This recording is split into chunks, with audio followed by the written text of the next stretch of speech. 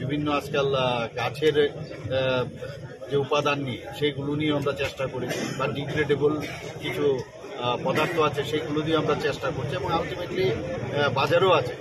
এবং সেগুলো আমি সবার কাছে অনুরোধ করব, সেগুলো যেন ব্যবহার করে, যাতে করে যে প্লাস্টিকের যে সমস্যা, সেটা যেন আমরা সেই সমস্যা আমরা জর্জরিত না এবং সেটা সবাই, আর আজকে এখানে বাজারে যেহেতু করছি, বাজারে দেখা যায় যে এককালীন যে প্লাস্টিক ব্যবহার, আমরা বলি ঠিকই, কিন্তু কাজে কিন্তু সেটা করি না।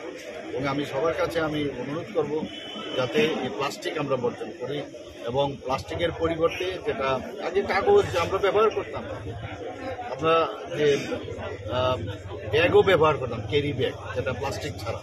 তো সেগুলো যদি আমরা জুটেরও ব্যবহার করতাম, সেগুলো যদি ব্যবহার করি, আবার আমরা যদি ফিরে যাই, প্লাস্টিক ব্যবহারের আগেও তো আমরা চলতাম। তো সেইভাবে যাতে আমরা সমস্ত যাই কিনি আমরা বাজার থেকে বা বাড়িতে নিয়ে যাই, সেগুলো যেন প্লাস্টিক ছাড়া যেন